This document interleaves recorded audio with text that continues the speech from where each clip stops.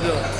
А, честно говоря, а, не особо слежу а, за всякими тенденциями, кто президент РФБ и так далее, но думаю, что, конечно, воздействие извне а, влияют на то, кем будет следующий президент РФБ.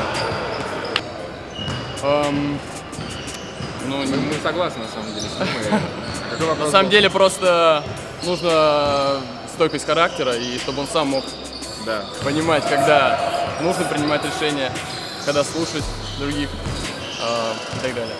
Подождите, а это человек вроде Если бы я был да, президентом РФБ, мое первое решение было Сергея Сорокина а, куда-нибудь в суперпрофессиональную лигу, высшую, зачислить. Ладно, это все шутки.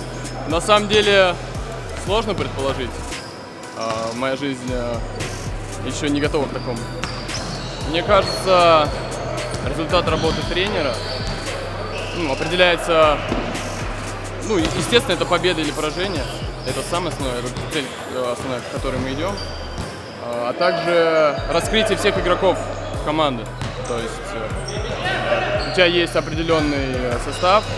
и Если тебе, как тренеру, удается ну, раскрыть потенциал в каждом, определенную роль игрока, то, несомненно, заслуга.